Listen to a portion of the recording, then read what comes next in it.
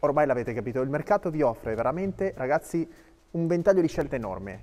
Diesel ibrido, benzina ibrido, ibrido plug-in, ibrido full, mild hybrid, benzina, diesel normale e benzina normale ovviamente.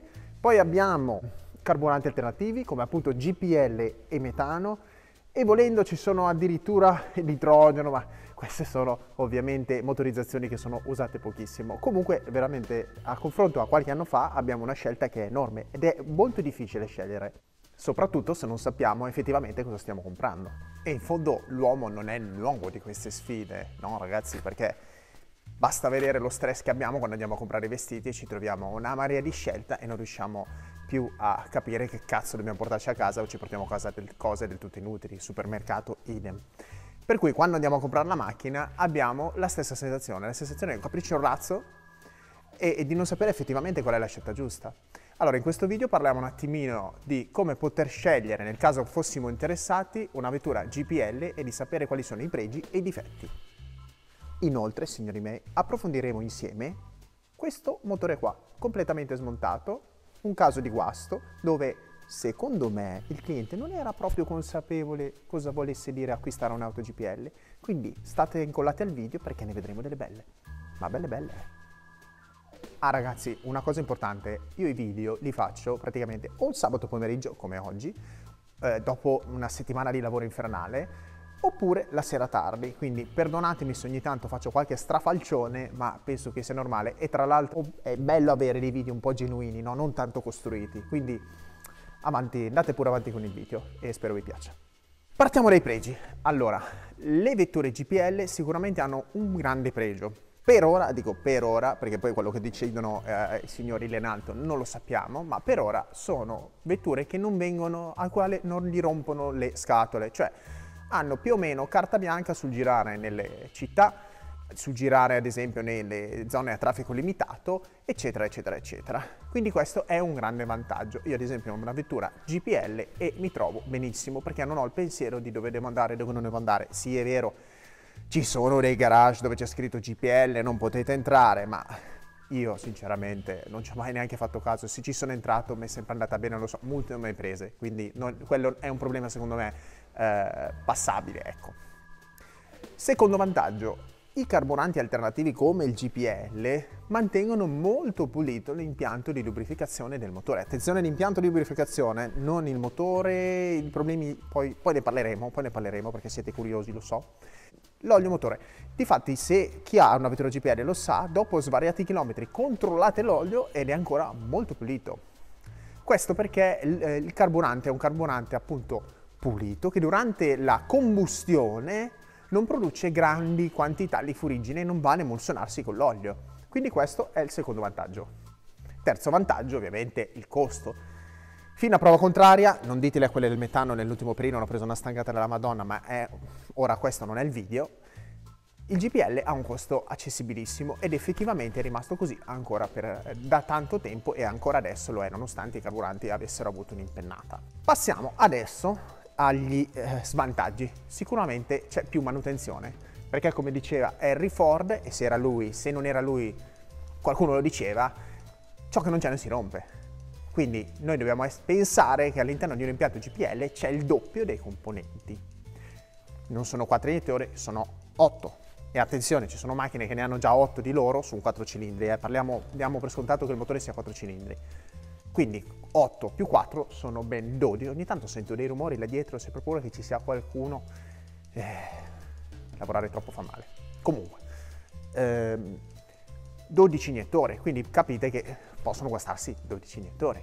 Ci sono il riduttore, c'è la bombola, c'è il, il, livello, ci sono eh, i simulatori perché ogni volta che fa, facciamo il pieno devono eh, azzerare il livello della benzina, se no la macchina, il livello della benzina sul quadro andrebbe giù, ma in realtà voi state usando il carburante nel serbatoio del GPL, insomma i componenti sono molti e quindi rischiano di rompersi. Altro svantaggio, e qua arriviamo un attimino, andiamo un po' più nello specifico, sono le valvole, o meglio, la natura del carburante di, il, del GPL, perché il GPL bruciando alza molto le temperature possiamo benissimo mettere un impianto iniezione gassosa o impianti che nel mentre sulle alti regimi vanno a iniettare benzina per abbattere le temperature, ma, media, ma mediamente, mediamente le temperature di combustione del GPL sono molto più alte. Ed è questo il punto su quale poi si centrerà questo video, o qua una macchina che, a quale abbiamo fatto questo tipo di lavoro, che ha completamente bruciato le valvole. Adesso metto i guantini, paura eh, quanto è sexy questo momento.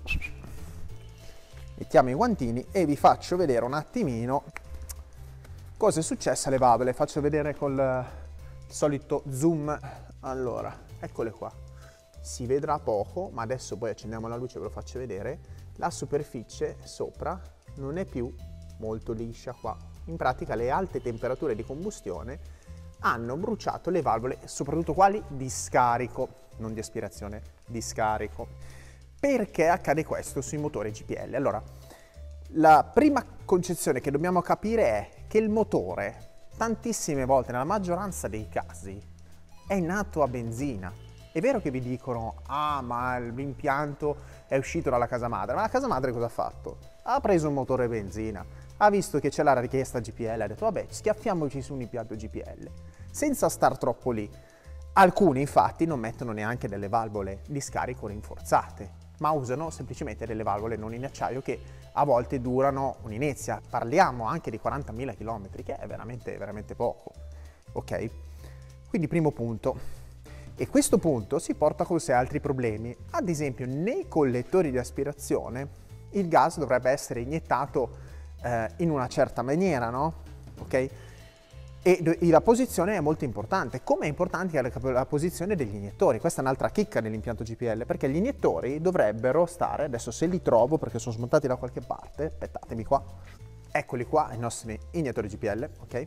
Non vengono montati così perché la posizione di montaggio, secondo le case costruttrici, nella maggioranza dei casi, tutte non le so ragazzi, io sto facendo un discorso generale, devono essere montate così. Quando montano le case costruttrici, danno le linee guida, ah, ok, ai montatori, ma cosa succede? Che loro prendono gli appalti, i soldi come al solito comandano e quindi li mettono non come si devono mettere, ma nella posizione più comoda. E stessa cosa, eh, i, i, fori nel collettore, vi faccio vedere il collettore. Essere, ok, questo è il collettore di aspirazione nel caso di quest'auto qua, dovrebbe essere, ok, dovrebbero essere il più vicino possibile. Poi andremo a vedere che quelli benzina, quelli benzina sono molto più avanti di questi. Per cui anche qui ci sarà un piccolo ritardo e attenzione, in questa macchina sono già messi abbastanza bene. In altre, dove appunto non c'è spazio, li vanno a mettere ancora più avanti, con ovvi ritardi di combustione. È vero che avere l'iniezione del gas permette di miscelarsi bene, ma è anche vero che eh, non è sicuramente la posizione più comoda dove andare a fare i fori, per cui tante volte poi li spostano e li mettono semplicemente dove sono più comodi. Tanto la macchina va, sì, però eh, non va benissimo. E perché non va benissimo? Perché si bruciano queste maledette valvole che mannaggia l'ho persa, chissà dove è andata a finire. Va bene, prendiamo un'altra, ok? Perché si bruciano queste maledette valvole? Adesso vi faccio vedere il dettaglio perché non ve l'ho fatto vedere prima. Allora, se vedete, vedete la superficie che non è più bella liscia? Ma ha questi puntini neri scuri, neri chiari, ecco, questa è una valvola bruciata.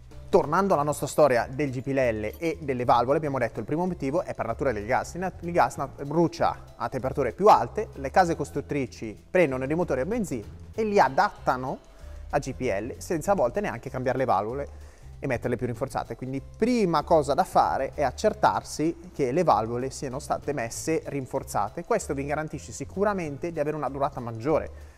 Non sono 50.000 ma sono 120.000. E poi dobbiamo capire un'altra cosa, come possiamo fare per, diciamo così, ridurre ancora di più il consumo delle valvole? Beh, eh, sicuramente una buona norma è comunque fare la manutenzione e finire non ci piove. Sempre per le valvole possiamo andare a inserire all'interno dell'auto un piccolo serbatoio con un lubrificante, questo vale soprattutto per gli aspirati, che va a iniettare del liquido all'interno del collettore di aspirazione in modo tale da lubrificare e abbassare le temperature di combustione appunto. Anche perché vi ho detto prima, sì, brucia a eh, temperature più elevate e non ha l'effetto di, essendo la benzina nebulizzata, la benzina nebulizzata eh, sulla valvola va a tirare, su, tirare fuori il calore, ok? È questo poi alla fine che fa aumentare le temperature di combustione. Ma andiamo avanti. Dobbiamo mettere in conto anche che ogni 10 anni dobbiamo rifare la bombola. Attenzione per il metano, perché ci sono delle macchine con le bombole dette in fibra, Volkswagen ad esempio, che ogni due, dopo i 4 anni, ogni due anni dovete fare la revisione delle bombole ed è una menata assurda. Volkswagen le aveva fatte per il mercato tedesco in cui questo obbligo non era, non era in vigore, né, non è tuttora, mentre in Italia ci dobbiamo sorbire sta menata, quindi attenzione se comprate queste sole. Vale sempre il, la buona, buona norma di non usare tantissimo la vettura GPL, soprattutto nei grandi tra, nel, in autostrada, no? dove la macchina oh, raggiunge temperature molto elevate a livello di scarico. Ragazzi, mia prova, ma giusto l'altro giorno, una vettura GPL con sensore sullo scarico, quindi potevo vedere le temperature, raggiungeva al minimo delle temperature di circa 70-80 gradi in più a GPL che a benzina e questo in una condizione di carburazione ottimale perché un'altra cosa che bisogna capire è che la carburazione GPL spesso sfasa un po' perché magari si riduce il livello del serbatoio quindi la pressione viene meno il riduttore che è meccanico non è digitale quindi lui butta sempre a una pressione in base a, come giriamo la vite sulla membrana se la pressione a monte cambia, cambia un po' anche lui, quindi non è precisissimo. Un po' che spesso e volentieri è ignorata, è ignorato il controllo del, della carburazione attraverso questa vitina che troviamo sul, sul riduttore del GPL spesso, rarissime volte non l'ho vista, ma la maggior parte degli impianti ce l'hanno, ok? La carburazione si altera e quindi andrà addirittura ad aumentare ancora di più le temperature, perché se è magra le temperature per appunto essendo magra c'è poca benzina, poco GPL, quindi va a lavare poco il cilindro e le valvole e si aumentano le temperature. Se è grassa fino a un certo punto ok, le riducono, ma quando si alzerà tantissimo è talmente grassa che il carburante non bruciando del tutto va nel catalizzatore e produce dei danni enormi. Mi è, mi è capitato di vedere catalizzatori che diventano rossi, rossi dal tanto carburante che c'è. Quindi immaginate, arriviamo a 950, 1000 gradi, ok? E questo ovviamente è deleterissimo per le valvole, cioè non durano niente, ok? Quindi, se volete un'auto GPL, tenete conto questi punti. Fate, magari è sempre meglio andare a comprare una vettura che non è nuovissima, perché se è nuovissima poi le rotture di balle ce le avete voi. Perché è vero che eh, il costruttore un po' di collaudo l'ha fatto, ma tante, tante volte il collaudo effettivo lo fa il cliente, soprattutto negli ultimi periodi.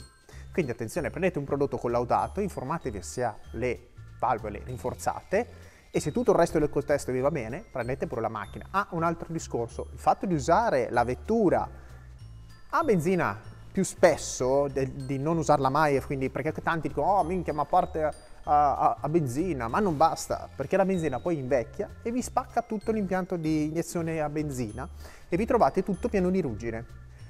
Quindi io consiglio di massima ogni 4 viaggi, uno ve lo fate a GPL, eh, a benzina, ok? Ve lo fate a benzina, andate tranquilli e vedrete che di problemi ne avrete pochi. E poi affidatevi a qualcuno che conosce il sistema e ogni tanto, ogni 60.000 km, vi rifaccia la carburazione GPL come se faceva una volta col motorino, con la vitina. Ecco, non è una cosa impegnativissima, si può fare, basta un appuntamento di una giornata e vi consente di far lavorare gli iniettori alla pressione giusta e di controllare anche che la carburazione non sia errata. Ma cosa abbiamo qua davanti a noi? Allora, parlando di GPL, questa fa proprio caso nostro perché si sono consumate le valvole che vi avevo fatto vedere prima e adesso poi vi spiego un po' qual è il lavoro che abbiamo fatto. Va che bellezza, va che bellezza. Vedere tutto lucido ragazzi è, è da orgasmo. Qui abbiamo il nostro bicchierino, questo qua ragazzi è il bicchierino, questo è il bicchierino, questa è l'albaracam che va a premere sopra il bicchierino e fa scendere la valvola così, no? Adesso in questo caso in, in situazione di semiriposo, quindi è così, più alta, quando arriverà sull'oliva, sull sulla punta dell'oliva, la valvola scende. Cosa succede? Che con le alte temperature la furia di battere si consuma qua, si consuma questo, ok? Si consuma qui, qui sopra, questo qua, la sede si consuma e la valvola se ne sale, per cui il bicchierino poi, nella situazione di riposo, quindi a questa altezza qua, batte ancora qua, ok? Il bicchierino, la valvola sale troppo, qui si consuma, sale, e qua non, sa- non, andrà più in riposo. Quando è qua la valvola dovrebbe essere chiusa, d'accordo? Ma cosa succede? Eh, succede che appunto c'è da fare il gioco valvola. In questo caso poi bisognerà andare a smontare questi bicchierini e mettere degli spessori all'interno, eccoli qua, e mettere degli spessori all'interno in modo tale da far sì che quando l'albero a cama arrivi su questa parte dell'oliva effettivamente ci sia lo spazio per chiudere, se no mi rimane giù e mi rimane aperta. In pratica non deve essere assolutamente premuto questo bicchierino, ma deve esserci dello spazio. Di solito è sullo scarico 0,25, cioè qua 0,25, sull'aspirazione come questa 0,20, perché? Perché lo scarico, essendo che le temperature sono più alte, è previsto un gioco delle valvole un po' più alto, appunto per garantire un'usura maggiore e una durata maggiore.